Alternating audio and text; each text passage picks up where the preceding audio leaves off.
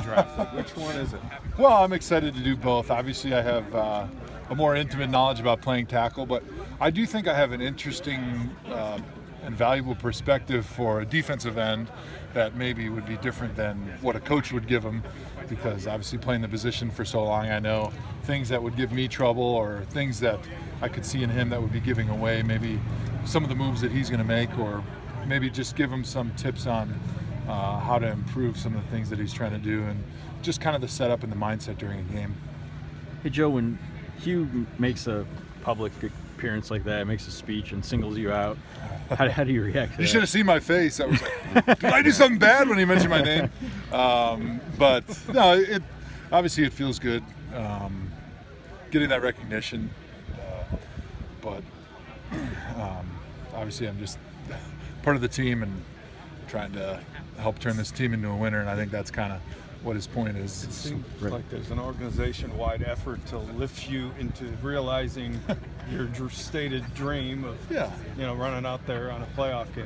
Uh, you know, if it gives anybody on the team a little bit of motivation, I'm happy to be that guy. Um, but uh, for me, I, I never kind of look at it from that perspective. So I'm, I'm always just trying to do everything I can to help the team win. Did this, uh, what happened in the offseason, adding the lineman, the draft, and so on, has it lifted your spirits, Joe? Yeah, I'm excited. I think obviously the offensive line was not um, very good last year, and I think adding a couple guys that we had will help.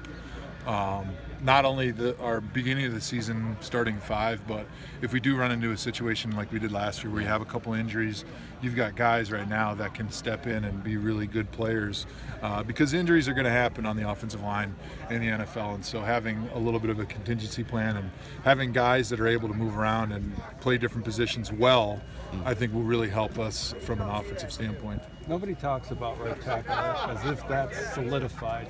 How would you handicap that position right now and the contenders battling for that? Well, it's a good question. I think Shon Coleman is probably the guy that uh, they're expecting to be out there starting, and I think he's got all the ability to do it. But there's just a matter of going out and proving that he can because he hasn't had a lot of NFL action yet, and there is a difference between showing in practice that you can do it and being able to show in a game that you can do it. So um, I think the jury's still out, but he's definitely the favorite. Joe, you know, usually we were asking you about learning a new offense. We actually have Hue's for the second straight year. Is there, do you notice a big difference coming back in the same offense year two? Well, I think for the guys that are younger, it's going to be a big advantage because they're a lot uh, younger in their NFL learning process. For a guy that's been around like I have and seen just about every offense the NFL has out there, uh, learning a new offense is not a big deal. But for those younger guys that really have a hard time and really have to spend a lot of time in their books learning that new offense, this will give them comfort to be able to kind of uh, drill down into the details of their job. So I think you will see a big improvement.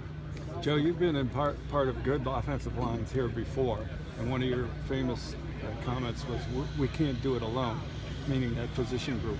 What's your level of concern about scoring points as we head into this OTA season? Well, I haven't thought about it really deeply just yet because we haven't even had a practice. But certainly, I'm I'm uh, very optimistic about the moves that we have made in the offseason, the additions that we have made, and I think uh, Cody Kessler is going to make huge improvement in his second year.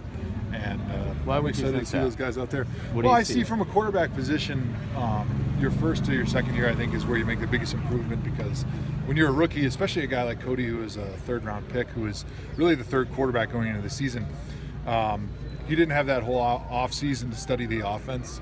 He, he didn't really know what an NFL defense looked like from on the field experience, from being in the meeting room, and he wasn't taking any reps with the first unit.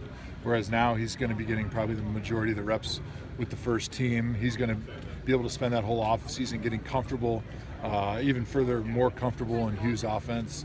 And uh, also, he was able to spend January, February, March thinking about all the things that happened in their first year and the preparation that went into it, and making all those corrections and making those adjustments and those changes in this off season to prepare for his second season. What is it about his skills or whatever that you think could make him pretty good? Well, I think he's got the uh, sort of the intangibles that you need as a quarterback, from the decision making to the intelligence to the desire and the drive. Uh, but also, I, I watch him out there, and he spent a lot of time this offseason working on his arm strength, and it looks like he has improved his uh, zip on the ball. And I'm not a quarterback guru or an expert, but um, to the naked eye, it seems like he's got a stronger arm this season. You've seen a lot of quarterbacks, though. So. I have. That's right. You should be able to rate him. what, what did he show you last year in some of the, the games when he did play on I the think field? uh, the main thing is the grit and the determination, playing through some of the injuries and some of the hits that he took, and sort of his desire, uh, those intangible leadership qualities that you have to have as a quarterback. Um, I think he showed us all those things, and then it'll be just a matter of Hue and the quarterback coach getting them in the meeting room and on the practice field, throwing to the guy that they wanted to throw to. Is the vision of how they want to, of how this regime wants to build a team clearer to you this year than it was a year ago? Uh, boy, I haven't thought about that. Uh, it seems like maybe the way they wanted to build last year is different than the way they're building this year. Whereas last year was outside in, and now I think they realize the importance of quality offensive line, defensive line from the inside out. So maybe that's just uh, happenstance because of players available in free agency and our needs and things like that. But um, you look at some of the guys that they let go last year in free agency, more of your, you know, your Alex Mack, your tackle, some of those inside guys, and now you're replacing them, saying, well, maybe uh, we do need those guys. We do need those positions. What did you think also too in, uh, in terms of uh, Kessler, like just as a be able to uh, stay healthy? I mean, frankly, that's the, the big thing with him. I think three of the games he, he didn't even finish. These. Yeah, I, I think a big part of that is um, what we have up front. You know, being able to protect him better, his comfort in the offense, his comfort in his decision making. Those are the things that allow you to not have to take those big hits. You know, uh, you look at Eli Manning. He's more frail than Tony Grossi, but he's never missed a start in his life because he understands when to take those hits, when to throw the ball away, where to lean when you're making a throw that you know you're going to get hit. Protecting yourself. That's more mostly with your decision making. It's not necessarily how big and strong you are because no matter how big and strong you are as a quarterback, unless you're JaMarcus Russell, those guys hitting you are Yeah. going to be bigger than you, and those hits are going to hurt. So it's just, I think, a matter of being smart, and I think that's part of the reason I think he'll be better this year is because it's that process and the, that intelligence that you learn, uh, and you understand so much better after having one year under your belt. Did you have any? Uh, did you know Osweiler at all, or have any opinion on him? No, I, I don't really know him, and the only thing I've seen him is you know running around in shorts and uh, lifting in the weight room, and you know he's taller than I am. All right.